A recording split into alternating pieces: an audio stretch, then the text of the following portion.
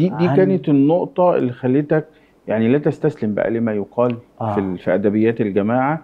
بدأت تدور أنت إنه إيه اللي حصل من عنف وحصل ليه وحصل إزاي. أيوه. مم. من 92 من شهر يناير 92 92 آه. قمت بإعادة الدراسة بشكل كامل سواء في رسائل حسن البنا سواء في تاريخ الجماعة. وأقرأ اللي ده كتبه واللي ده كتبه اللي ضد الإخوان واللي مع الإخوان. أي قناعة اتكونت لديك يا فندم بعد القراءة دي طبعا كان في ارتباك لازم يكون في ارتباك في آه. الأول مم. وكان آه، يعني وكأن الواحد في مشاعره لا يريد أن يصدق مم. إنه ممكن تكون الجماعة عملت هذا الكلام عن قناعة ولما آجي أقرأ بعد كده إنه في اغتيال الخزندار آه، اتعملت جلسة لمناقشة حسن البنا آه، دي اللي حضرها عباس كامل عبد العزيز كامل آه. وكتبها يعني في, في كتابه. نهر الحياة في آه. نهر الحياة آه وإنه عبد الرحمن السندي قال فيها إنه قال مين يخلصنا من الراجل ده وإنه وقع في آه، أنا بتاع السلاح طالما بيقول لي مين يخلصنا من الراجل فده ده أمر. ده أمر إن أنا أبتدي أنفذ لو قال الكلام ده قدام الراجل المسؤول عن قسم الدعوة هيؤمر بإقامة ليل ويقول يا رب خلصنا من لكن أنا بتاع سلاح. لكن أنا بتاع سلاح. فلما نفذ الكلام ده حصل خلاف بينهم بقى مم. في المناقشة في الجلسة دي.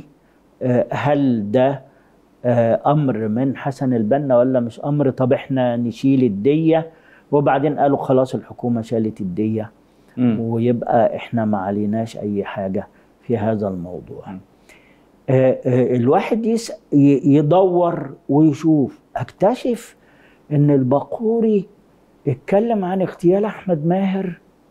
رئيس وزراء مصر ده هو كان كان كان الشيخ البقوري في في في مذكراته يعني هو أول تقريبا من كشف إنه إنه من اغتال أحمد ماهر هو من الإخوان آه محمود عيسوي يعني كان كان أول مرة آه. مم.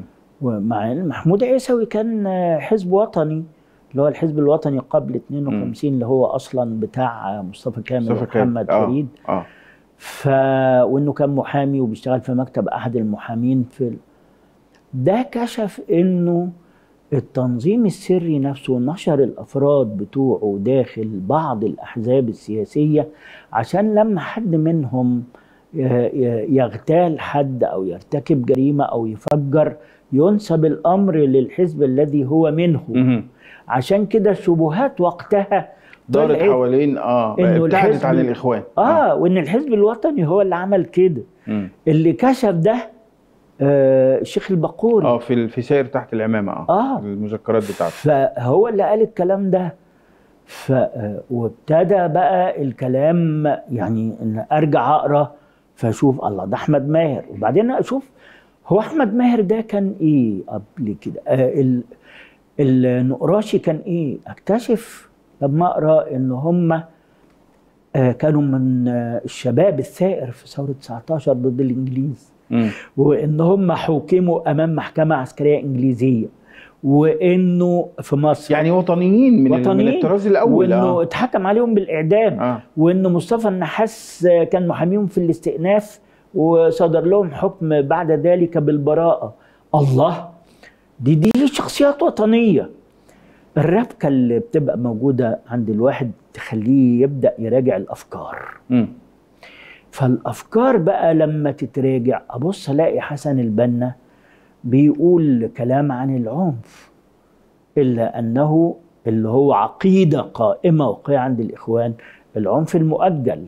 مم. لما يستكمل الإخوان أدوات القوة فيبدا يلجأ يبقى لازم. يستخدموا العنف وقال كده قال إننا في رسالة المؤتمر الخامس إننا ذات يوم سنستخدم القوة في مواجهة قومنا ولكننا حينما نستخدم القوة سنكون شرفاء فننذر قومنا اولا ثم نتحمل كافة التبعات مم.